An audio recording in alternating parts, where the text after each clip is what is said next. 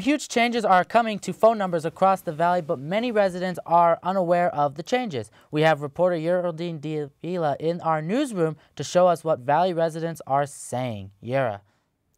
Good afternoon, Stephen. According to the North American Numbering Plan Administration, reports indicate that Las Vegas will run out of 702 numbers by the year 2014.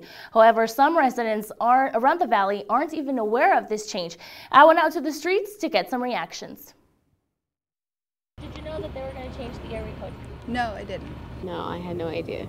I heard about it on the news. That's my only knowledge of it. It'd be a little weird to get used to, to be honest with you, at first, uh, going from 702 to 725. But I mean, it's just three three numbers, so it really wouldn't bother me that that much at all. But I am glad that I do get to keep my 702. It's kind of unfair. Everybody's used to 702 area code, and changing it's going to kind of throw everybody out of whack, and they're not going to be able to call people without having to dial an area code. Definitely going to be a change because you're so used to giving your number only as the digits minus the area code because you don't really need it. So now we're going to have to do that. Personally, it wouldn't really matter to me. I still live in Las Vegas. I have a 702 area code, and I don't like having to dial in a different area code. The State Public Utilities Commission approved the petition to add the new 720, 725 area code in Clark County starting this June 2014. It is worth mentioning that current residents who already have a 702 area code will not have to change.